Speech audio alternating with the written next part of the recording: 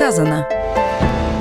Губернатором Курганской области поставлена задача оказать всестороннюю помощь семьям мобилизованных граждан. Были собраны заявки как со самих мобилизованных, в том числе мы встретились с членами семьи и получили все э, те обращения, которые необходимо решить. Все задачи мы разделили на три группы. Это организационные вопросы, которые не требуют финансовых, материальных ресурсов. Это вопросы, которые касаются материальной помощи именно для решения каких-то вопросов. И э, в том числе э, имущественные вопросы. Это обеспечить ремонт, э, помочь выполнить.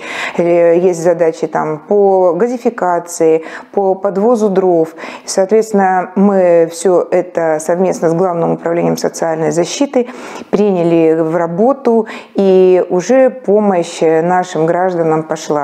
Э, в настоящее время подготовлены продуктовые наборы. В первую очередь мы их доставим в многодетные семьи и семьи, где у нас э, имеются дети.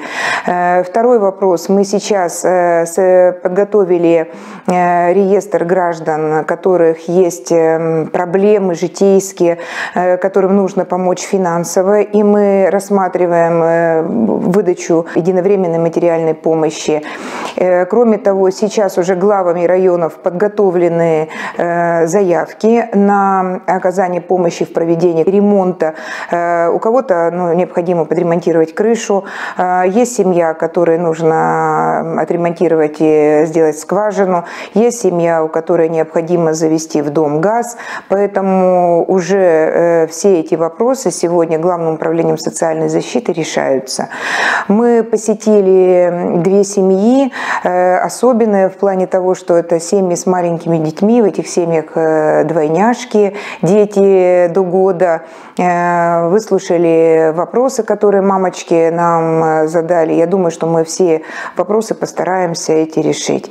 И я хотелось бы, хотела бы обратить внимание членов семей, наших мобилизованных мужчин, если будут возникать какие-то вопросы, непосредственно обращаться либо в администрацию района к заместителю главы по социальным вопросам, либо в комплексные центры социального обслуживания к руководителям, мы готовы посильную помощь оказать э, всем нуждающимся. Кроме того, у нас э, еще работает горячая линия при Главном управлении социальной защиты, где э, в любое время можно обратиться по всем вопросам, которые интересуют.